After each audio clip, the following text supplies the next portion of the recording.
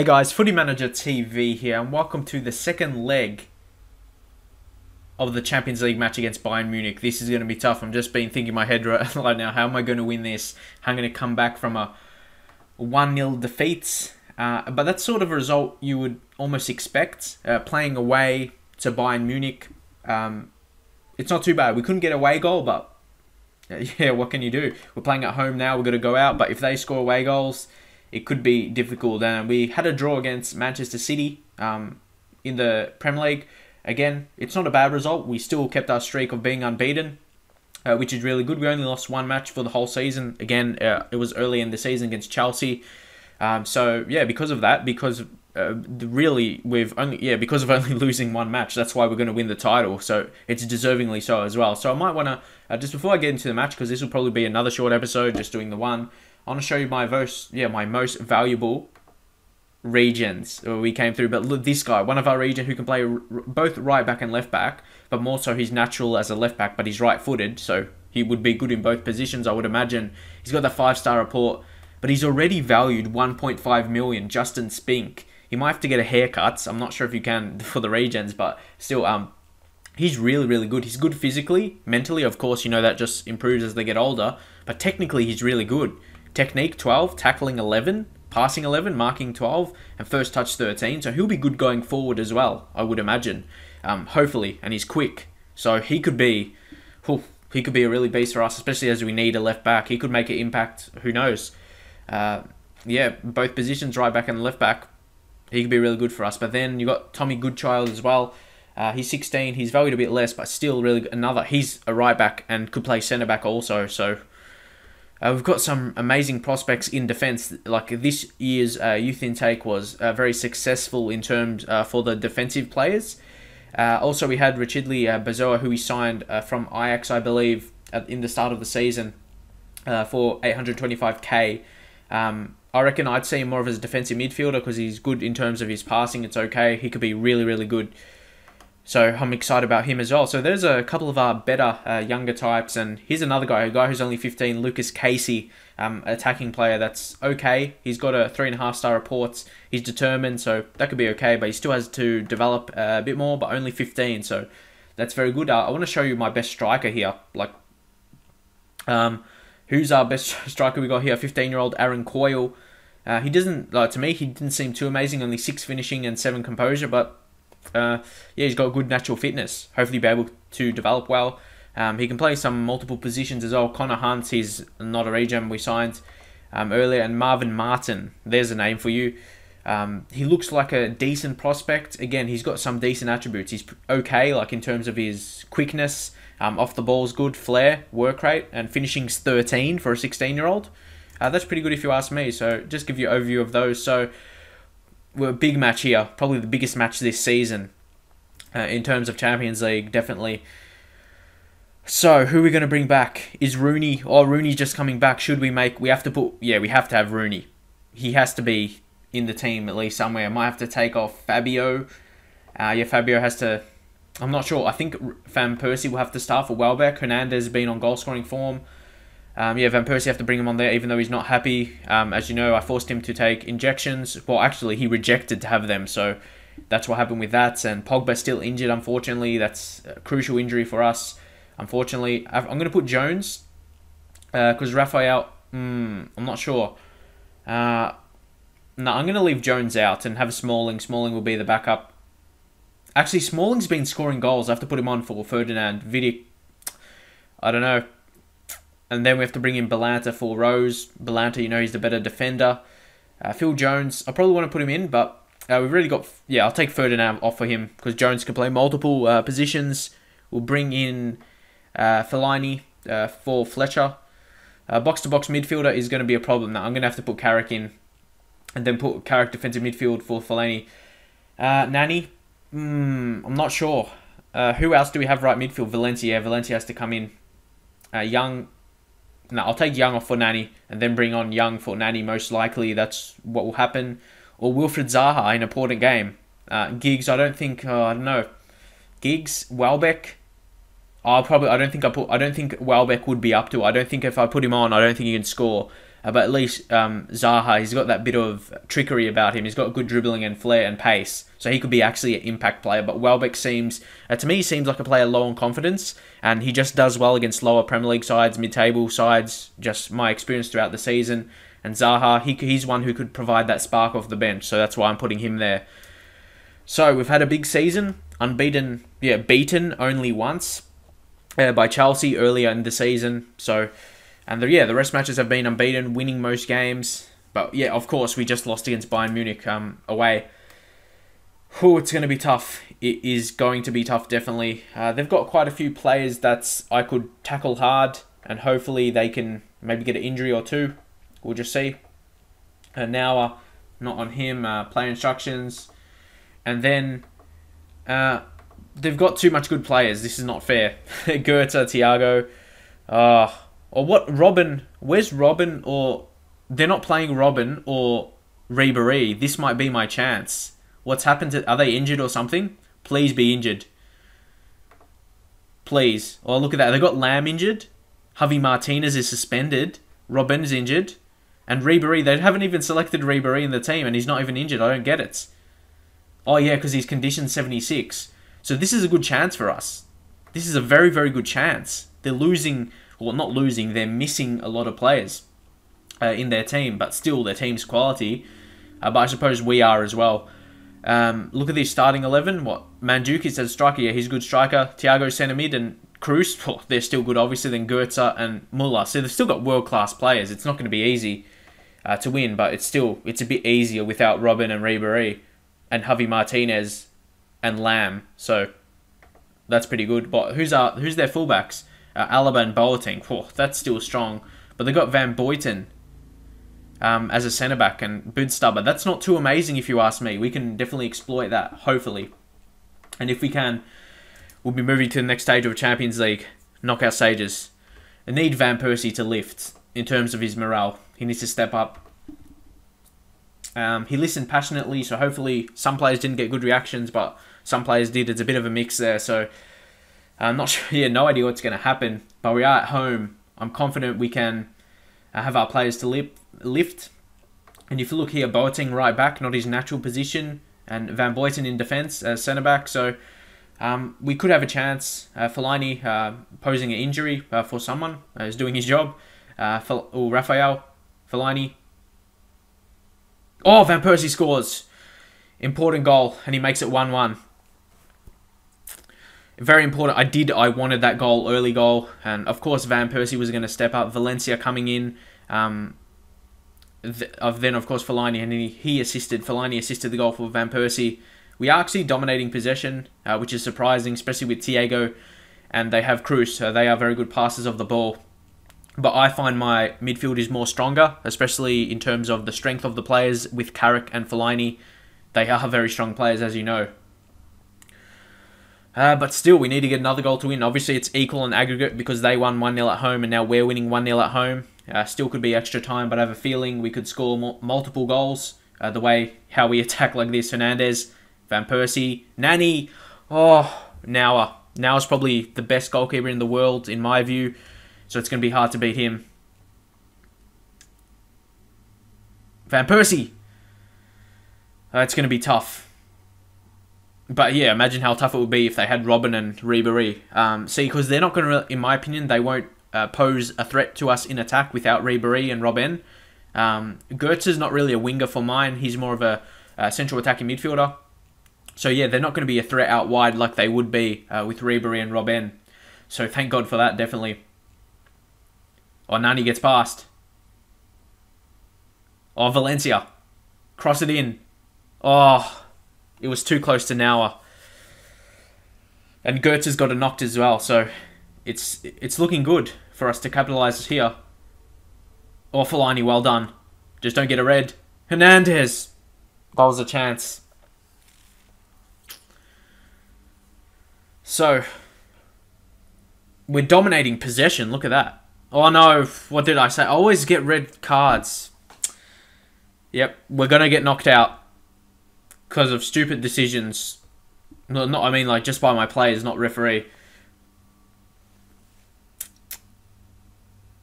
I really, I, I'm probably, I'm just going to go one striker now.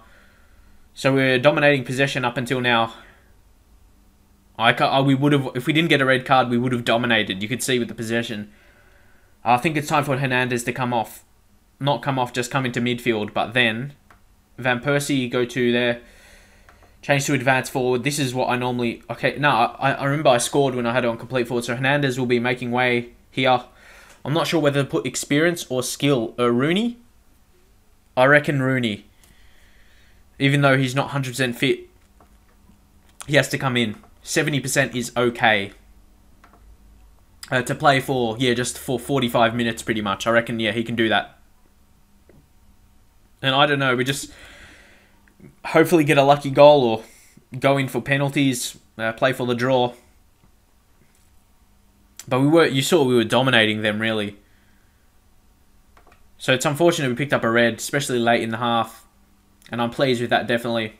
What? Why did they get a bad result? We're winning the game, one 0 See, there, I don't know whether to say. Oh, I thought that meant like we're because we're winning the game. I thought they'll be happy with that because uh, we're not winning on aggregate. I think that might have been why. See, I was just confused there whether to say I'm pleased or not. But you got yeah, you got to be pleased. We're dominating them, really. You see the possession. We've got more possession. You see here, even with a less player. But you think they'll start to gain domination here. You would think anyway. But there, look, we're pushing up again. So, we, oh, please don't make a mistake, please. No. Oh, well, one in midfield. Come on. But if we concede, I'll lose all hope. uh, Nani, get through. Rooney, Carrick. Oh, no. Don't, oh, please. Oh, that was so close. He hit the post. I really, oh, Gertz is off, which is a good thing need to make changes somehow. But we need to score as well. I want to win it. Not go extra time. I'm feeling extra time we might get undone with our fitness levels. Uh, Rafael now bring on the more defensive Phil Jones and as like I was said I was going to do, uh, bring on Zaha. Got to have that the the, the pace, uh, the skill. That's what's going to help us win really. Uh, Phil Jones, and I've got to have the support role on complete forward for Van Persie, so he helps pushing into midfield, so we can dominate there a bit more and then Valencia and um, Zaha can make runs and hopefully play balls into them. We'll just see how it goes. It's good we're still having the majority, or not majority, we're still just above 50-50. Uh, Set piece here, Valencia. Yes! Vidic. We needed that. And now we just need it, yeah, settle down. We That's what kind of goal we needed, a set piece. We, pro we probably weren't going to score um, just with one striker up front, and Vidic had to pounce. And yeah, I didn't want to risk by uh, playing two strikers and a less man in midfield. Whew. What an effort by my team here. Hopefully can hold on, because if they score, they win, because two away goals. Oh no, they'll one away goal. Oh, they'll win, yeah. Yeah, they'll win, because I didn't score away goal, of course. Whew. Last 30 seconds coming up here. Hopefully we can hold on Shaqiri in the defensive half. No. Rooney, good professional foul. Picked up a yellow. That's important just to waste the time. It should be over here. Good defending. Zaha, just run to the corner. Run. That's it. It's all over. Somehow we made it through. No idea why, but it definitely was a big part to Nemanja Vidic. Uh, was fantastic in defence, 8.4 rating, uh, but Valencia was crucial as well uh, from right midfield. And Rooney did the job coming on. Fantastic effort, passionate. Now, hopefully it'll work. Now they get the good reaction. And of course, Van Persie's important goal helped us on the way. And then Vidic uh, with the second uh, from the rebound from the corner. That was crucial. I honestly I wasn't expecting to win, especially after the red card. But look at that for the majority of the game. Well, not really majority, forty five minutes. Um, we still dominated possession, fifty seven percent. They only had one shot on target. Fantastic effort. But of course, I think it would have been a different game if Robben and Ribéry were playing. And yeah, it would have been harder for me to score, no doubt, if Lahm was playing and Javi Martinez uh, that would have been in uh, defensive midfield. It would have been harder to break them down, no doubt. But we move on, and Borussia Dortmund, after looking like they could have uh, faced defeat and being knocked out uh, against Benfica when it was uh, 3 2 um, on aggregate, or uh, after the first leg, they came up away and won 4 0. A big effort by them, definitely. And oh, yeah, that was a really good effort. Imagine how pleased they uh, the manager would have been after that 4 0 away after losing at home 3 2. A good effort. So um, that was pretty good. We given uh, given some more money uh, for winning. Fantastic. So if we can beat Bayern Munich, but I don't know, it's hard to credit it. It's really hard to credit that win because they were, yeah, like I've said, I'm not going to keep mentioning the players because I've already said it. You know, the players they didn't play for them. Um, it definitely wasn't their first, their best lineup, but it wasn't our best lineup as well. Rooney was not fit. Um, well, he came off the bench we were missing Pogba. I suppose Pogba was the only key player we were missing, and Rooney had to come off the bench, and yeah, that was pretty much it. And Fellaini for half of the game, but uh, that was a massive effort. So I think I'm, I'm going to play through it to the 11th, uh, so you can see who I get drawn against uh, right here. Uh, so yeah, if you think you can beat Bayern Munich, we can beat anyone definitely. So I don't really care who we get drawn against, and I do want to beat the best teams, and I do want to win consecutive uh, Champions Leagues. That's what this series. It's not all about Champions League, but that's one main reason. And with a save, especially on YouTube, but yeah, with if you're doing a save yourself, you need to have multiple goals with your save. With a um, yeah, you need. There's heaps of things you can think of, but for me, definitely Champions League dominance. Uh, that is one of the main things, and for me, turning the youth prospects into a bit like how Barcelona are pretty much. Uh, there's no yeah, there's no Barcelona really in the Premier League like in terms of their setup. Like they got heaps of players in their reserve team, like Barcelona B, who can come in and play uh, a good job and uh, have a lot of the players. But I'm not really going to do that. But that that's a part down to it. Have a lot of their players from yeah their youth setup. Um, yeah, that is what yeah that's what I want to do. Because um, you know the majority of Barcelona teams they came through their ranks. That's what I want to try and do. But still, I'm going to sign big players because you have to really if you want to be competitive.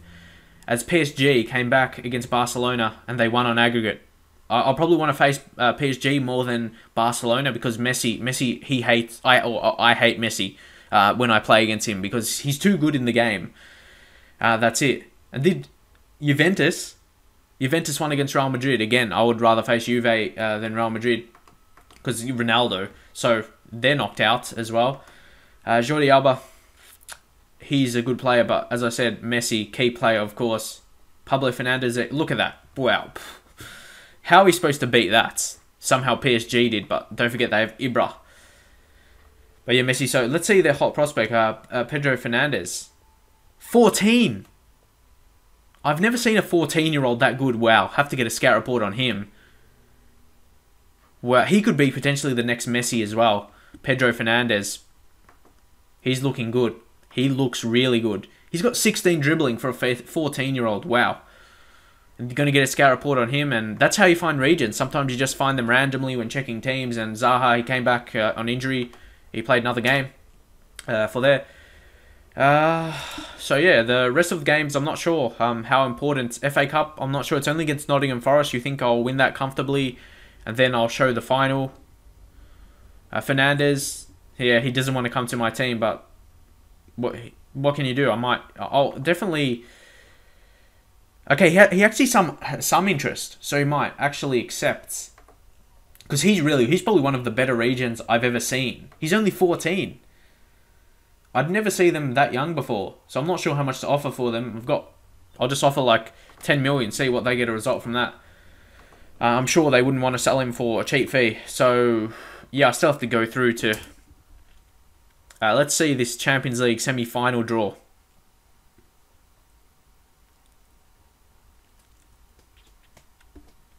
Uh, Chelsea, yep, they won in the rope. They get knocked out of that as well. Uh, let's see. Yeah, Chelsea's not even in the Champions League. Okay. To be honest, this is easier teams than I would imagine. I would imagine there would have been like Barcelona and Real Madrid at least. Those two big uh, teams. And no English teams as well, like no Man City. Uh, could be good. Dortmund. To be honest, ooh, I don't really care. Yeah, face Dortmund. Um, they lost their home leg um, at home 3 2 against Benfica. No doubt they came up. So they've got some injuries as well. Oh, Grosskreutz and Subotic are suspended for the next game.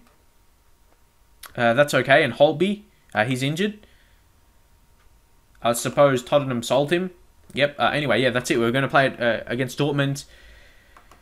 Um, there, then we got semi-final. Won't show that. I'll probably yeah, I'll probably just show Dortmund. I'll probably yeah, this is all about Champions League for now because I'm going to win the league, no doubt. We've got some easy matches coming up. Look, Fulham, Aston Villa, Everton, Southampton, and Cardiff. You think I'll pick up enough wins? Uh, how much wins do I need? One more, and I've got it. Who knows? One or two more, and I've got it. So you think that will happen for sure? So it's going to be all about the Champions League for the rest of this season, and maybe the FA Cup final. And yeah, that'll be it. And then yeah, last game. I might show the last game or um, to round off the uh, the season. We'll see how it goes. So hopefully enjoy this series. If you do, drop a like, and I'll see you guys next time.